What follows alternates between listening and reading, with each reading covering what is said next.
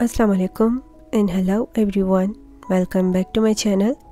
आज मैं बना रही हूँ माइलो केक माइलो एक माल्ट ड्रिंक है और ये ख़ास तौर पे बच्चों को बहुत पसंद आता है।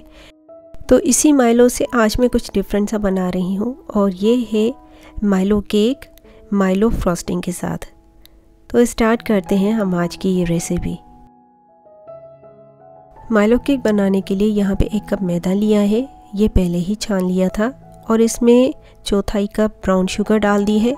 वाइट शुगर भी यूज़ कर सकते हैं और इसमें एक कप माइलो पाउडर डाल दिया है। इसमें एक चाय का चम्मच बेकिंग पाउडर और एक चाय का चम्मच नमक डाल दिया है। ये ड्राई मिक्सचर है। इसको अच्छी तरह से मिक्स कर लेना है। आप इन सब चीज़ों को एक साथ मिला के आप छान भी सकते हैं, उसके बाद भी मिक्स कर सकते हैं। तो मैंने ये सारे पहले ही छान लिए थे तो मैंने मिक्स कर लिया है यहाँ पे। और अब इसमें डाल रही हूँ चार अंडों की जर्दी। मैंने चार अंडे यूज़ किए हैं इस रेसिपी के लिए। इसमें मैंने अंडों की जर्दी और अंडों की सफ़ेदी अलग कर ली थी। और इसमें चौथाई कप दूध डाल दिया है, ये रूम टेम्परेचर पे दूध है। चौथाई कप ऑयल डाल दिया है। ऑयल डालने से केक स्पंजी बनता है। और इन सब चीज़ों को अब इस ड्राई मिक्सचर में, यानी पाउडर वाले मिक्सचर में हम अच्छी तरह से मिक्स कर लेंगे।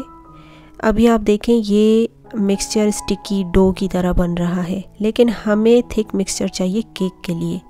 तो इसमें मैंने तीन खाने के चम्मच पानी के डाल दिए हैं। ये नीम गर्म पानी है, और अगर आपको लगे कि मिक्सचर अभी भी थिक है पानी डालने के बाद तो आप एक से दो खाने के चम्मच और भी पानी ऐड कर सकते हैं। तो मैंने इसको अच्छी तरह से मिक्स कर लिया है। ये देखिए थिक बैटर तैयार हुआ है।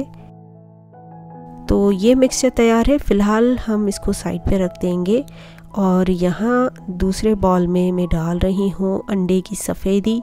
ये चार अंडों की सफ़ेदी है और इसमें चौथाई चाय का चम्मच टाटरी डाल दी है और इसको मैं बीट कर रही हूँ मीडियम स्पीड पे। इतनी देर बीट करना है कि इसमें फोम बन जाए, ये झाग बन जाए। तो इसमें ये झाग बन चुकी है। तो अब मैं इसमें डाल रही हूँ चीनी। चीनी मैंने यहाँ टोटल चौथाई कप यूज़ की है, लेकिन मैं इसको दो से तीन हिस्सों में ऐड करूँगी इसके अंदर थोड़ा थोड़ा करके और इसको बीट करती रहूँगी। और अब इतनी देर बीट करना है कि ये मिक्सचर अंडों की सफ़ेदी का बिल्कुल क्रीमी सा बन जाए। तो ये बिल्कुल क्रीमी सा मिक्सचर तैयार है अंडों की सफ़ेदी का। तो अब यही अंडे की सफ़ेदी हम डाल देंगे पहले वाले मिक्सचर में जो हमने पहले तैयार किया था, लेकिन ये हम तीन हिस्सों में डालेंगे। अभी मैंने एक हिस्सा अंडों की सफ़ेदी का डाल दिया है पहले वाले मिक्सचर में और इसको मिक्स कर रही हूँ। इसको आपने आधा मिक्स कर लेना है, उसके बाद दूसरा हिस्सा डालना है।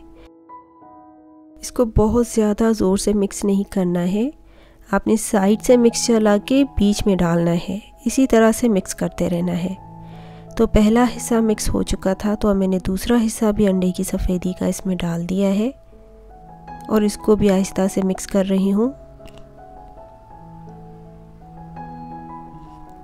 ये अंडे की सफ़ेदी पूरी तरह पहले वाले मिक्सचर में आ, मिक्स नहीं हो रही है। मैं अभी सिर्फ़ थोड़ा सा यहाँ पे मिक्स कर रही हूँ। और अब मैं तीसरा हिस्सा भी इसमें डाल दूँगी। और ये सारा मिक्सचर अंडे की सफ़ेदी का इसमें आ चुका है। अब हमने अच्छी तरह से इसको मिक्स करना है ताकि अंडे की सफ़ेदी अलग नज़र ना आए पहले वाले मिक्सचर से। दोनों ही मिक्सचर अच्छी तरह से मिक्स हो जाएँ, एक दूसरे से अलग नज़र ना आए। अभी आप देखें, इस मिक्सचर का लाइट कलर आ चुका है। अंडे की सफ़ेदी भी अच्छी तरह से मिक्स हो गई है, अलग से नज़र नहीं आ रही। तो ये केक बैटर तैयार है। मैं अब केक पैन में ये बैटर डाल रही हूँ। आप राउंड या स्क्वायर केक पैन भी यूज़ कर सकते हैं। या फिर आप बिल्कुल ऐसा भी केक पैन यूज़ कर सकते हैं जैसा मैंने यूज़ किया है। और अब मैं इसको प्री हीटेड अवन में बेक करूँगी। और बेकिंग का टेम्परेचर है 180 डिग्री सेंटीग्रेड्स और हम इसको 30 से 35 मिनट के लिए बेक करेंगे। यहाँ केक अच्छी तरह से बेक हो चुका है।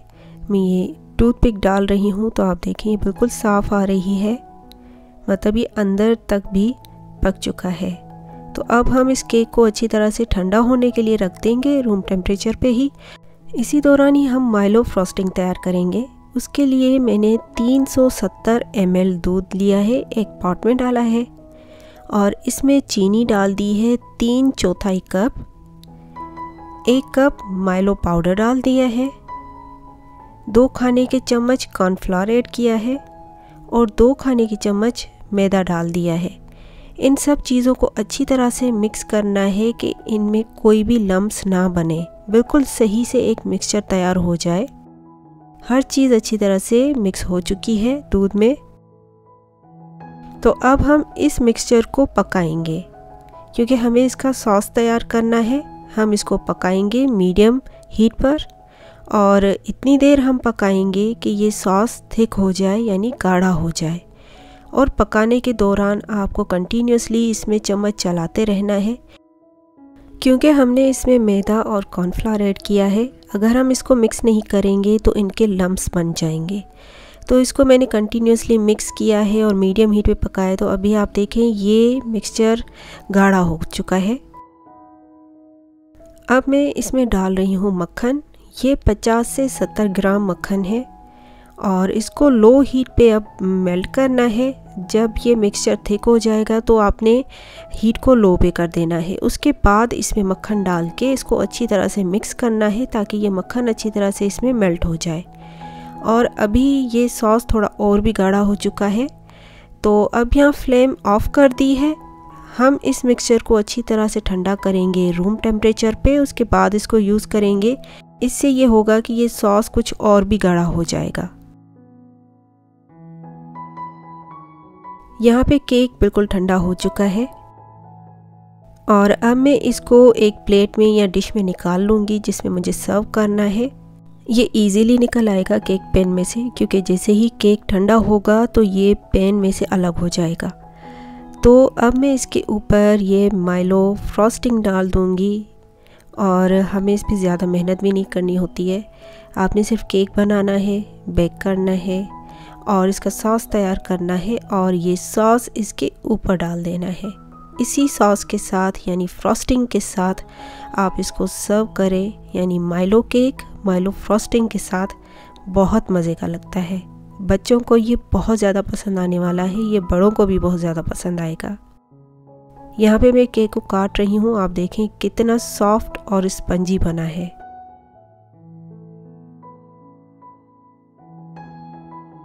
ये अंदर तक बिल्कुल सॉफ्ट है, बहुत मज़े का है। आप इसको किसी ओकेजन पे भी बना सकते हैं। आप इसका स्पंज देखें, अंदर से भी कितना सॉफ्ट सा है। बनाने में बहुत आसान है, बहुत ज़्यादा मेहनत भी नहीं लगती है।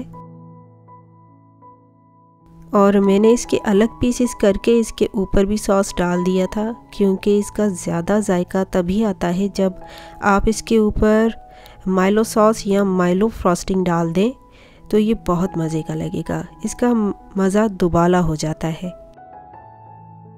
तो आप मुझे बताइएगा आपको ये रेसिपी कैसी लगी? आप इसको ट्राई करें तो मुझे कमेंट सेक्शन में अपना फीडबैक ज़रूर दीजिएगा।